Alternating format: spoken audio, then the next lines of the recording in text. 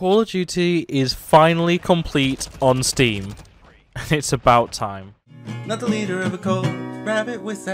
Greetings, demons, and welcome to a Call of Duty discussion video. So, as the preamble little opening actually suggested pretty clearly, Call of Duty in its entirety is now fully available on Steam, which is great. It's honestly something that a lot of people have been wanting for a very, very long time, and by very, very long time, I mean about three years. Um, but yeah, obviously we had Modern Warfare 2 return to Steam with, you know, the recent release, the most recent release, should I say, of Call of Duty. And prior to that, the previous three years, all the way from Modern Warfare to Cold War, had been completely exclusive to Battle.net. And if you don't know what Battle.net is, it's the Activision Blizzard launcher. It's a competitor to Steam. Uh, it's kind of the same way as the EA launcher or Uplay. And it was the only place you could actually get Vanguard, Black Ops Cold War, and Modern Warfare 2019, obviously. Along with, I believe, for a time at least, it was exclusive for Modern Warfare Remastered and Modern Warfare Campaign Remastered, Modern Warfare 2 Campaign Remastered, should I say.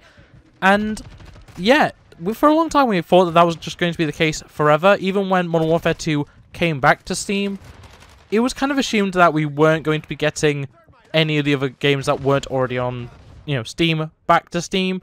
And just to make it clear, every single Call of Duty game since Call of Duty 1, barring a few of the console exclusives, is available on Steam and have been since each of their releases on PC it's just kind of a thing that you have always been able to do.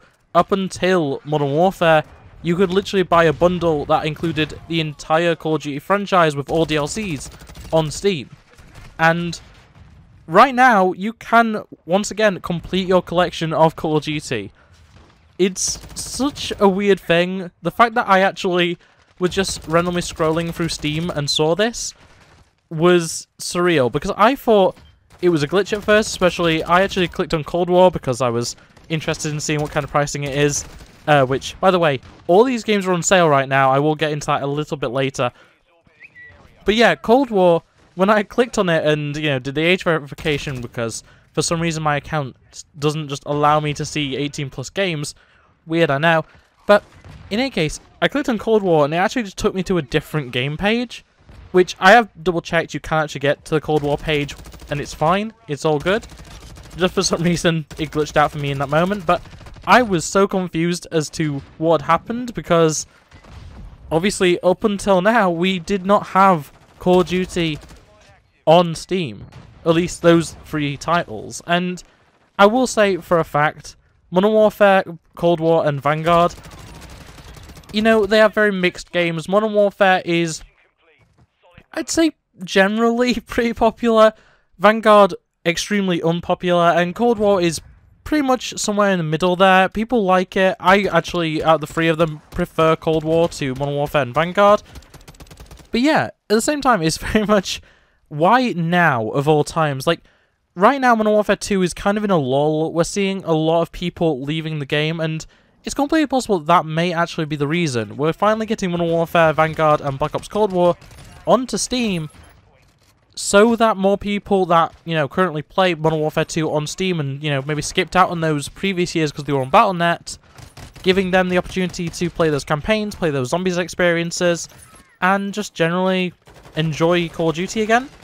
It is very odd to me because right now, Modern Warfare Vanguard and Black Ops Cold War are all completely connected games in terms of their progression, but aren't connected to Modern Warfare 2. Modern Warfare 2 and, you know, by extension Warzone 2.0 are completely separated from those previous three games. So it's not like growing the player base for the previous three years is going to help them other than with a minor monetary boost.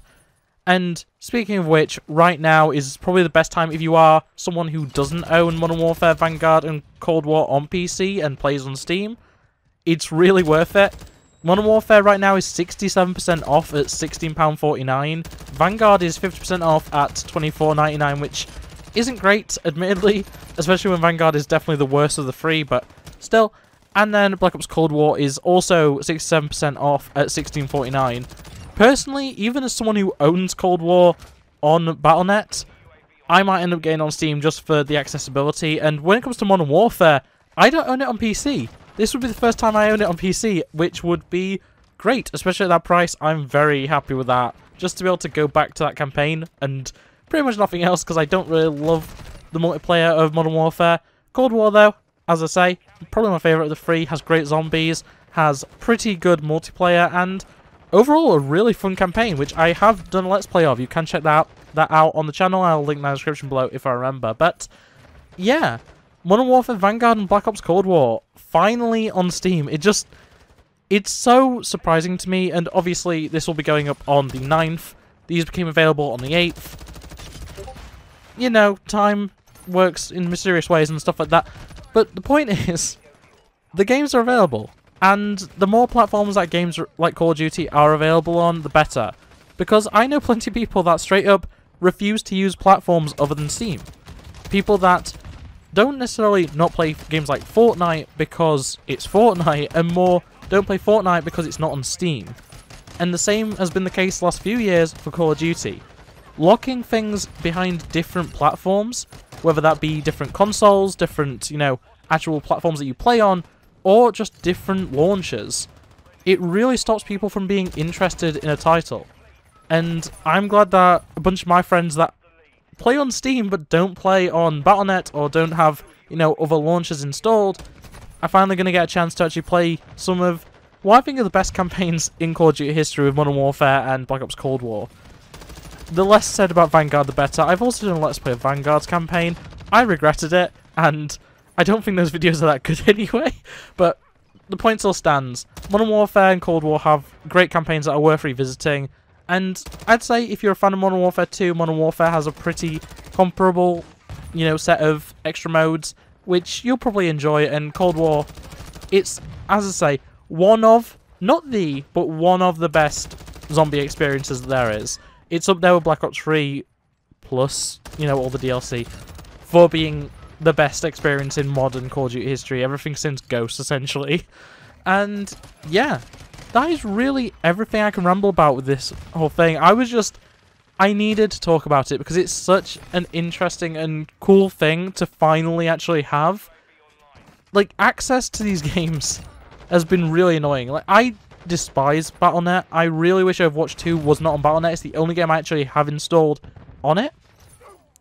And you know, I uninstalled Cold War because I had enough of Battle.net. Battle.net annoys me.